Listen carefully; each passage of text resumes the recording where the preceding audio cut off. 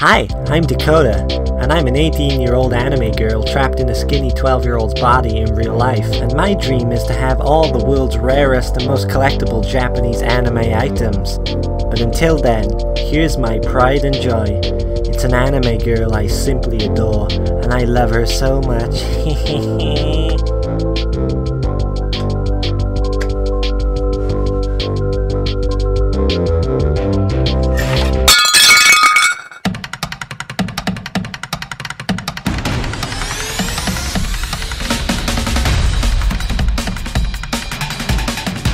No, Azusa-chan.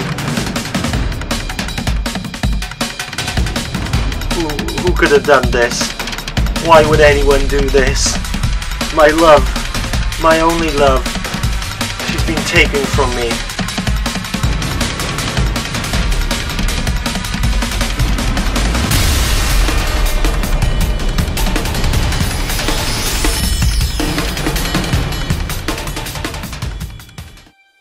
My life was meaningless. I had nothing left now except the hope I had about finding my lady's killer. I realized I couldn't do this alone, so I decided to bring in some help. So, you're telling me that someone broke your toy? Yes. Uh, uh, For the record, she's a she's a PVC figure. So, do you have any idea of who might have done this? Not really, no. That's why I called in you. I want you to help me. You know this isn't my specialty, right? Yeah. Oh, well, let's see here. The killer had to be fast. The killer had to come in through a window. And the killer had to go out through the window in a matter of seconds. That sounds about right. I'm sorry. I'm sorry.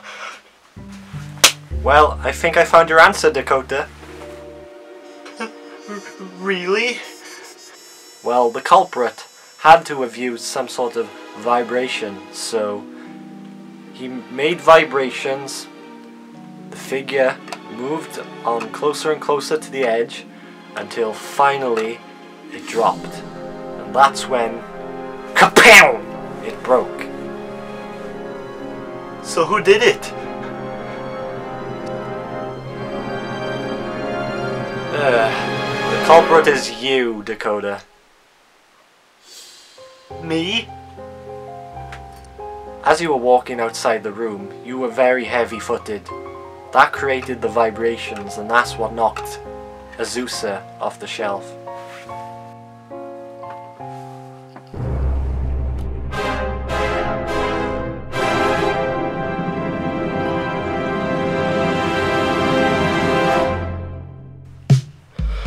How could you? You murdered your only love. How could you? Dude friggin' talking to himself?